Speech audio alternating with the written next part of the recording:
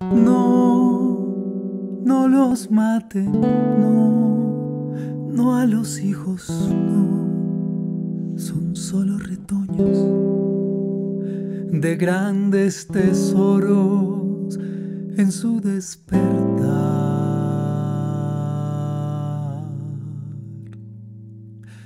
No, no los maten, no, no destruyan, no, pedazos del alma, no roben la calma de un hogar en flor.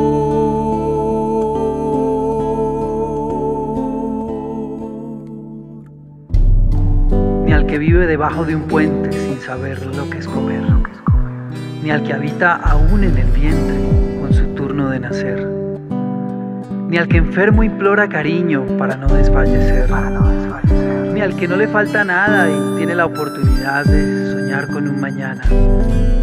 No se les debe matar, se les debe matar. No se les debe matar, no se les debe matar. No, no los maten, no, no a los hijos, no. Son solo retoños de grandes tesoros en su despertar.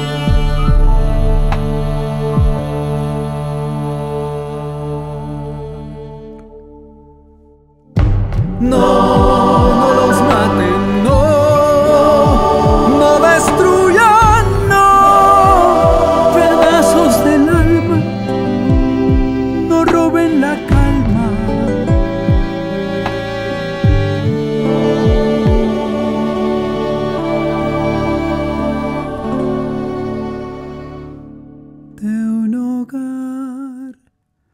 En